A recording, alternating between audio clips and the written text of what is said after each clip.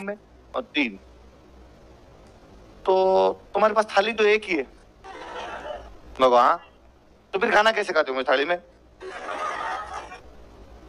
तो तुम्हारे पास कटोरी तो है नहीं, मगर नहीं है। तो सब्ज़ी किसमें खाते हो?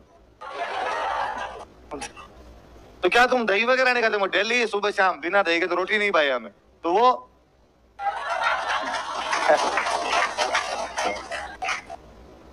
उन्होंने क्या मुँह बिगाड़ा ऐसे करके? अच्छी कैसे गंदे गंदे लोग हो। अब उनके जाने के बाद हमें एहसास हुआ कि अच्छा लोगों को इन चीज़ों से भी ऐसा अजीब सा लगता है। अब वो चले गए, तब हम तीनों आपस में बैठे तो वो मेरे एक रूममेट वो कहे, ये तो भला है, ये महिला ने इसी घर में अपने को देखा। यदि पिछले घर में अपने को देख लेती तो। वहाँ अपने साथ थे और अपने पास थाली भी नहीं, है? सबने सबड़ के लिए। तो अब जिनको नहीं आता, इनको समझाए भी कैसे? क्योंकि सबड़ का समझाया नहीं जा सकता केवल फील किया जा सकता है। है ना? हाँ तो इनको आप समझा देना बाहर ले जाके चाय की दुकान पे लेके जाओ तो इनको समझाना कि सबड़ के कैसे आते हैं, हम बताएँ। ए चाय वाले सबड़ के नहीं होते सबड़ के राबड़ी के है। है ना? चाय वाला तो ठीक है, वाह, यूँ। पर वो जो, समझ गए तो? हाँ? जिनको नहीं समझ में आ रहा था, समझ में आ गया? आया समझ में? नहीं आया। नहीं आया? जवान, आ गया तेरे समझ में? क्या होता तो बता। रावड़ी क्या? रावड़ी को बनाते हैं? पीते हैं तो पीते हैं तो फिर क्या हो गया? हाँ? पश्चिमी राजस्थान वाले आपके जितने भी दोस्त हैं ना इनके रूम पे जाकर भी खाना खा लेना। आपको उल्टी नहीं हो जाए तो मेरा नाम राजवीर नहीं है। ये जिस तरीके से खाएँगे ना खाना आपको लगेगा मैं छोड़ दूँ बीच के अंदर। उस खाने में सबड़ के लिए जाते हैं। उस खाने में क्या लिया जाते हैं?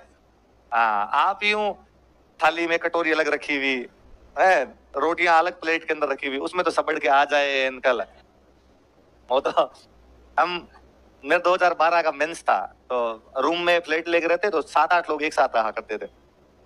एक सीनियर भैया थे मेंस एक मेरा, और किसी का नहीं, वो मतलब और कोई दो बंदे थे जो प्री की तैयारी कर रहे थे, उनको देना था अगला एग्ज़ाम दो चार थे जिनको एग्ज़ाम नहीं देना था, वो अपने दूसरी कोई भाई कॉलेज में पढ़ा करते थे उस प्रकार से थे। तो एक सीनियर भैया थे एडवोकेट तो उन्होंने एक दिन मुझे कहा कि, यार देख, तू हमारे साथ रहता, अच्छी बात है यार, अपने इतने सालों से साथ रहते हैं। पर तेरा मेंस है, तू थोड़ी पढ़ाई कर ले, हमारे साथ रहता है, सारा दिन हटाई करते रहते हो। तो मैं ठीक है? तो उन्होंने कहा कि तू रूम अलग ले ले। तो मैं अकेला तो रहूँगा तो मर जाऊँगा, अकेले से नहीं रह जाए मेरे से। एक आधा तो हटा ही करने वाला साथ में थोड़ा बहुत तो बोले यार आदमी। तो कहा, ठीक है यार, तुम दो तीन जने अलग रहे हो दो जने अलग रहे हो बाकी वाले यहाँ रह जाए। क्यों दो करते करते एक ने और कहा कि मैं भी भैया आपके साथ ही चलूँगा। चलो, तीन अलग ले लेते हैं। तो रूम देखने के लिए गए। पूरे दिन इधर उधर भटके रूम कहाँ रूम कहाँ। फाइनली एक जगह था कि भाई, यहाँ पे रूम मिल जाएगा आपने लड़के खड़े थे नीचे, उनसे पूछा कि भाई, यहाँ? तो उन्होंने कहा कि हाँ यहाँ रूम है। बेस्ट ग्राउंड फ्लोर पे तो हम रहते हैं। फ़र्स्ट फ्लोर खाली है और जो सेकंड फ्लोर है, उसके ऊपर मकान मालिक रहते हैं। मकान मालिक के नाम पे घर में केवल दो माँ बेटे मतलब मम्मी उनके, आंटी जी और उनका बेटा। तो हम तीनों गए तो हम एक तो पूरे दिन से भटक रहे थे। फिर स्टूडेंट वाली ड्रेस पहनी हुई लोवर टी शर्ट पहनी हुई, चप्पलें पहनी हुई, पूरे दिन भटक भटक के काले भूत हो रखे एकदम पसीना वसीना गिरे गेट नॉक किया। आंटी आए तो उन्होंने इंग्लिश बोली। तुम कौन अपने समझ में तो आगे क्या बोली? वापस तो अपने से बोली नहीं जाए। हमें रूम लेना है तो उनके भी समझ में आगे भाई इनको इंग्लिश आती तो नहीं। तो उन्होंने वापस हमसे हिंदी में वार्तालाप करना शुरू किया। पर वो यूँ गेट आधा गेट खोल के आधे गेट के बीच में खड़े थे। काफ़ी लहीम सहीम पर्सनालिटी थी तो आधे गेट के अंदर आ रहे थे वो। पीछे शायद उनके बेटे बैठे होते तो अपने बेटे को इंग्लिश में समझाए हमसे हिंदी में बात करें। फिर इंग्लिश में समझाए फिर हिंदी के अंदर बात करें। तो अपने हमसे पूछे भाई कितने लोग रहोगे? हाँ, तीन लोग रहेंगे। अपने बेटे को वापस थ्री मेंबर्स उधर से। फिर वापस हमसे इधर बात करें। क्या करते हो तुम लोग? हमने कहा हम सिविल की तैयारी करते हैं। वापस उधर वापस गए। ये आई की तैयारी करते हैं ऐसे। तो हमसे हिंदी इंग्लिश हिंदी इंग्लिश फिर वो मकान मालिक की जो बातचीत होती है, वो आप लोगों ने करी रखी होगी सेम सी बातचीत होती है। आपके रूम पे दोस्त नहीं आने चाहिए। आपके रूम पे शराब नहीं पियोगे। आपके रूम पे सिगरेट नहीं पियोगे, है ना? कोई नशा पता नहीं करोगे। जल्दी आ जाओगे, सफ़ाई रखोगे, है ना? वो जो नॉर्मल नॉर्मल बात आती है। अपने कई सालों से रूम लेके रहते तो अपने एक्सपीरियंस हो गया कि इन सब चीज़ों में yes yes yes yes yes करना होता है। है ना? इनको पढ़ना नहीं होता, इनमें खाली टिक टिक करनी होती है। कि तुम जल्दी आ जाओगे कि यस। तुम्हारे तो यहाँ पे कोई दो, दोस्त नहीं आए थे। अरे कोई आता नहीं मेरे तो कोई दोस्त ही नहीं है। मैं तो अकेला ही रहता हूँ। और हम तो थोड़े और सियाने पड़ गए। हम तो कई साल से हो गया तो बाद में मकान मालिक पे पहले जाके अपने हावी होते हैं। मकान मालिक बाद में अपने से पूछता है अपने से पहले मकान मालिक से पूछते हैं। मैं तो कई बार कोई अब तो जितना काम ही नहीं पड़ता अब तो छोटे बड़े भाई ने वो कोई रूम देख लेते हैं। पहले जब खुद देखने जाता तो मैं मकान मालिक को जाकर था अंकल देखो मैं सिविल की तैयारी करता हूँ मैं आई की तैयारी करने वाला बंदा हूँ और आप ड्रिंक वगैरह तो नहीं करते अच्छा। अंकल बैग फूट पे अंकल, अरे नहीं नहीं नहीं। हम ना, किस लिए? मैंने देखो, करो तो आप अपने अंदर बैठ के चुपचाप कर लेना। कई बार हो, अल्लाह करते हैं, मैं डिस्टर्ब हो जाऊँगा, मुझे पढ़ना पड़ता है। अंकल, अरे बेटा, नहीं नहीं। तो ओकेजनली कभी कभी लेते हैं हम तो। और वो भी मैं अंदर ले लूँगा चिंता ही मत करो। तो अंकल को नॉन वेज वगैरह। मैं शुद्ध शाकाहारी हूँ, लहसुन, प्याज भी नहीं खाता हूँ। और इधर ऐसा नहीं होना चाहिए कि आप सारे दिन इधर नॉन वेज पकाते रहोगे। नहीं नहीं बेटा, हमारा रसोई बंद है, हम तो पकाते भी नहीं है। छोटे टाबर तो नहीं आपके ज़्यादा। फिर वो तुमको डिस्टर्ब करेंगे, मैं डिस्टर्ब होता हूँ, मैं यहाँ अकेला रहना चाहूँगा, मैं पढ़ना चाहूँगा। अंकल पे इतना मोरल प्रेशर होता था कि अंकल मेरे से वापस पूछ ही नहीं पाता कि तू क्या करेगा, क्या नहीं करेगा। अपने वो स्ट्रेटजी हर जगह यूज़ में लिया करते थे। उन पे भी अपने चलाई। उन्होंने थोड़ा किराया थोड़ा ज़्यादा बताया। किराया, उस टाइम के हिसाब से वो किराया थोड़ा ज़्यादा था। वो दो रूम दे रहे थे, एक किचन था।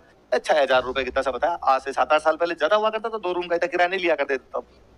पर हमें पता था कि अपने मेंस तीन महीने बाद अपने को तीन महीने रहना है। तीन महीने बाद तो वैसे खाली कर देंगे। अब तीन महीनों में यदि दो चार हज़ार रुपए ज़्यादा लग गए तो लग गए। कम से कम इस चक्कर में पढ़ाई तो जाएगी अपने। तो उन्होंने कहा पक्का दे देंगे।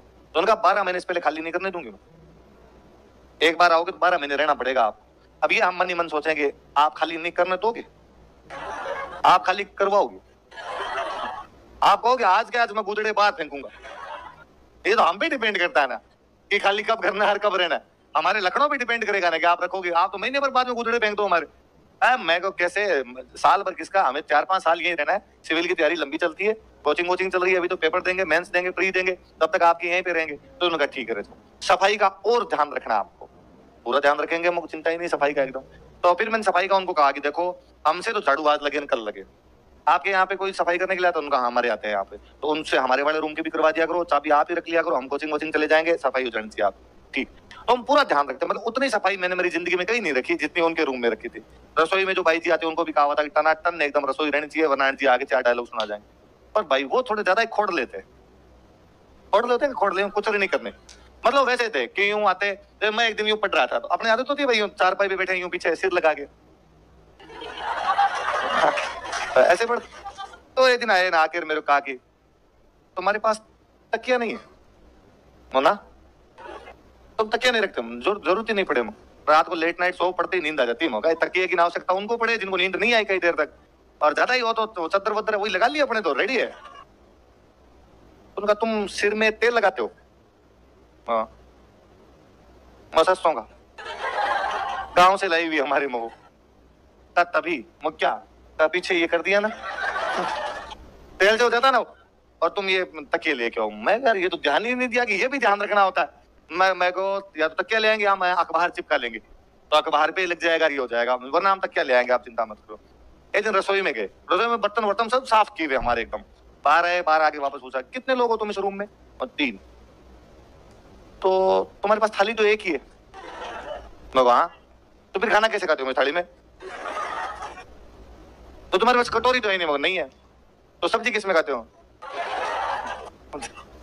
तो क्या तुम दही वगैरह नहीं खाते? डेली सुबह शाम बिना दही के तो रोटी नहीं पाई हमें। तो वो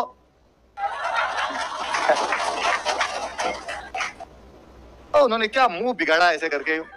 अच्छी कैसे गंदे गंदे लोग हो। अब उनके जाने के बाद हमें एहसास हुआ कि अच्छा लोगों को इन चीज़ों से भी ऐसा अजीब सा लगता है। अब वो चले गए, तब हम तीनों आपस में बैठे तो वो मेरे रूममेट वो कहे ये तो भला है। ये महिला ने इसी घर में अपने को देखा। यदि पिछले घर में अपने को देख लेती तो। वहाँ अपने साथ थे और अपने पास थाली भी नहीं अपने पास थी परात।